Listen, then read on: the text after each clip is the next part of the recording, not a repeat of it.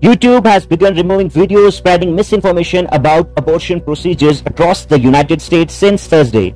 The move announced by the Google-owned video site comes about a month after the US Supreme Court overturned Roe v. Wade, the case that protected the legality of abortion in the country for nearly 50 years. Medical experts warn that some people may try to capitalize on the emotional upset and spread false claims about the procedure.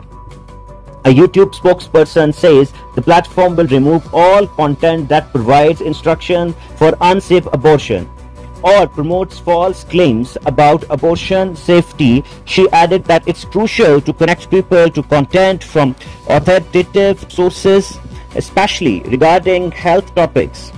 Earlier, YouTube's parent company Google said it would delete location data when users visit abortion clinics. Short form, the short form video platform TikTok has also started removing abortion related videos that spread medical misinformation.